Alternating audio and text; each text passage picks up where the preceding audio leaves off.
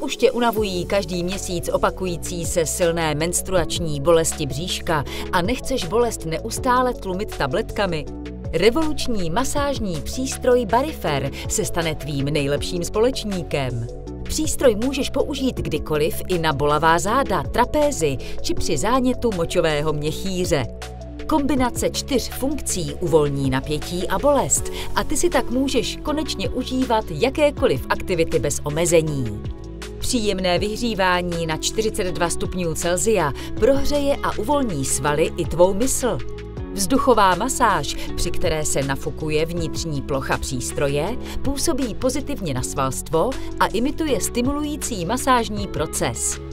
EMS, neboli elektrická stimulace svalů, stimuluje svaly elektrickými pulzy, čímž dochází k účinné masáži vnitřního svalstva. Vibrace příjemně doplňují ostatní masážní funkce a urychlí úlevu od bolesti.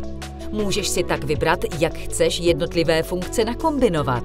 Dále si pak můžeš nastavit intenzitu masáže a to v pěti úrovních. To zaručí, že si každý uživatel najde to své. Navíc je přístroj velmi malý a lehký. A jak přístroj používat? Pomocí suchého zipu si připevníš přístroj na bříško, bedra či trapézy. Vždy přístroj používej na pokožce, ne přes oblečení. Přidržením středového tlačítka se automaticky spustí všechny funkce na nejnižší intenzitu.